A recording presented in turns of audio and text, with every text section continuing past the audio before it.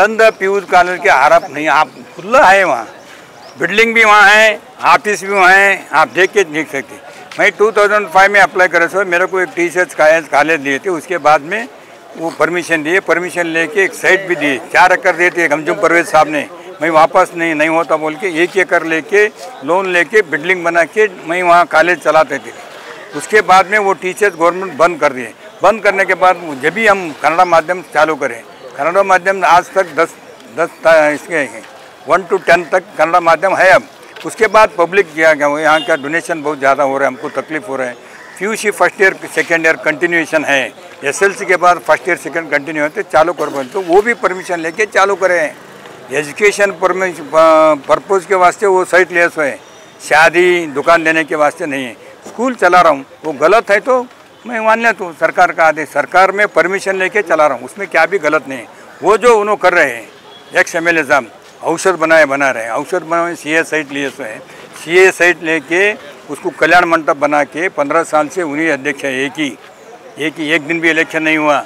उन खुद election election होना उसका मेंबरशिप है। चुनाव नहीं हुआ, उन्हीं अध्यक्ष है। वहाँ क्या चला रहे दस मಳಿಗೆ बनाए। वो किराना दुकान को किराया दिया, चाय दुकान को किराया दिया। शादी बना रहे मुंजी बना रहे सबको किराए दे रहे उन्होंने ये गलत होता ना। तुम उद्देश्य क्या है? तुम पैसे कमा रहे हैं। हम तो नहीं कमा रहे पैसे। आज हम शिक्षण दे रहे हैं। अच्छी तरह शिक्षण दे रहे हैं। मेरिट में हमारे लोग आए।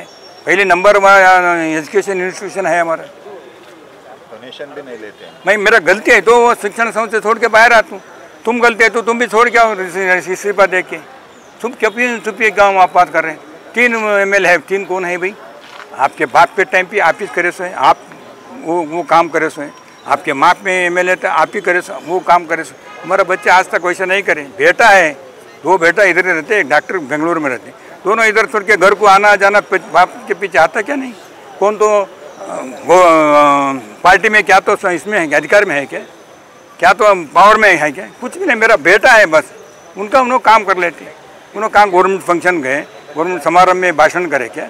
कहीं तो ये प्राइवेट फ़ंक्शन में लोग मेरे को नहीं आए तो उनको बेटे को भेजो बोलते। वो खांड है पूजा है उसको जाते। वो गलत है तो वो भी मन करा तो तुम मत जाओ। तुम्हारा देवी तुम सब जाते ना तुम भी मनो। सर तुम क्या झूठे आपादन करते हैं मेरे ऊपर? कलपुर की दक्षिण में दो मांग रखी गई हैं। एक उर्दू भवन के लिए फंड दिया जाए और दूसरा हज भवन कलपुर की दक्षिण में बनाया ये उर्दू भवन हज भवन देने का ये गलत नहीं है। पब्लिक पूछ रहे हमारे पास एक माइनॉरिटी का स्पेशली फंड रहते हैं। वो उसमें हम दिला देते उसमें क्या गलत नहीं है ना। कलबुर्गी दक्षिण हाँ दक्षिण माता क्षेत्र में उर्दू भवन को भी फंड दिला देते और हज भवन को भी फंड दिला देते उसमें क्या गलती नहीं उसके वास्ते हमारे गवर्नमेंट में पैसे रहते दिला देते उसमें। सब कम्युनिटी को देते ना हम। हाँ वो कम्युनिटी वाले पूछे मैं आपको आपके साथ हेल्प कर तो बोल के बोले